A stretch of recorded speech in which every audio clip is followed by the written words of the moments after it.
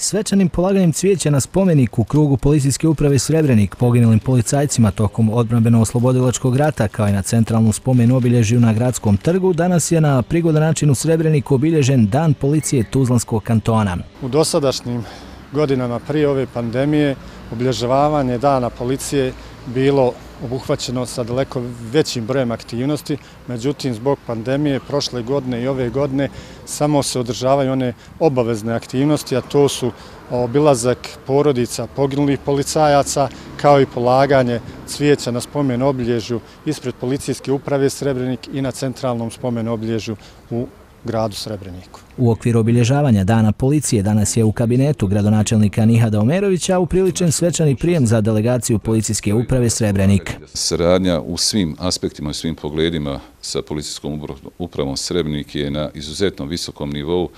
i na ovom sastanku sam iskoristio priliku da se posebno zahvalim svim e, zaposlenicima, svim policajcima policijske uprave Srebrenik na velikoj nesebičnoj i jako profesionalnoj podršci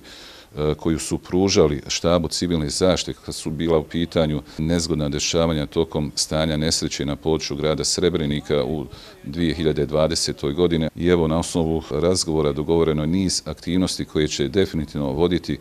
ka unapređenju rada i djelovanja i materijalno-tehničke opremljenosti zaposlenika i kompletne policijske uprave. Kako je istaknuto na osnovu pokazatelja o broju krivičnih dijela i narušavanja javnog reda i mira, stanje sigurnosti na gradskom području Srebrenika je zadovoljavajuće, a zahvaljujući dobroj saradnji policijske i gradske uprave u narednom periodu, generalna slika sigurnosti u ovoj lokalnoj zajednici i dodatno bi trebala biti bolja.